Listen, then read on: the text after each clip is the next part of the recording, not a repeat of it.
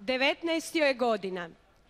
Početkom ovog mjeseca dva puta je nastupala u Parizu, i jednom u Strasburu. Dobitnica je niza stranih i domaćih nagrada.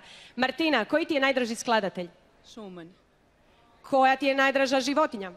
Mm, mačka. Glazbeni broj koji ćeš izvesti zove se? Uh, šuman je jedan dio iz skladbe Krajzlerijana. Martina Filjak!